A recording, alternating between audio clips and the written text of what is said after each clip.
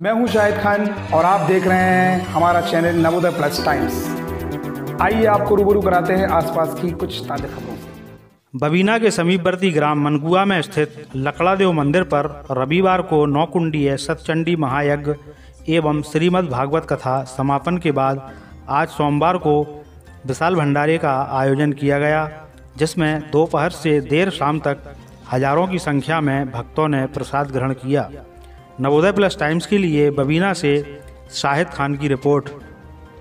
महाराज जी ये जो भागवत कथा सतचंडी महायज्ञ का कार्यक्रम किया गया है इसका उद्देश्य क्या है?